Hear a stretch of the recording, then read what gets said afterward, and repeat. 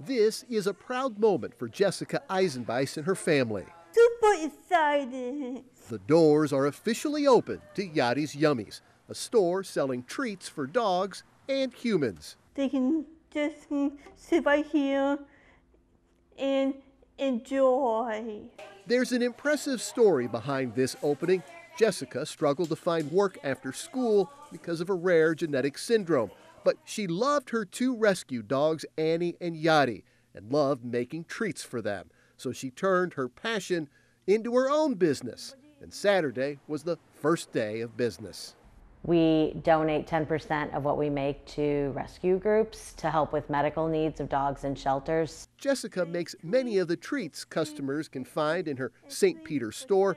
It's taken a lot of work to get to this point, and her mother says the opening of this store is an amazing symbol of what's possible.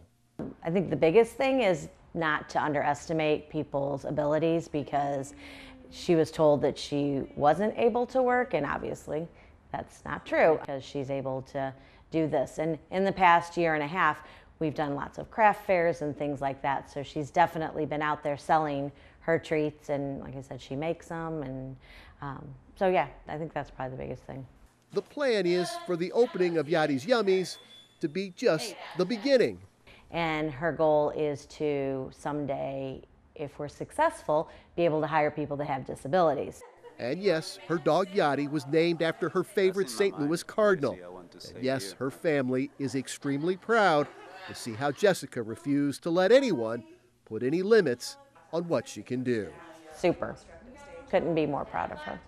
Reporting from St. Peter's, Jeff Bernthal, Fox 2 News.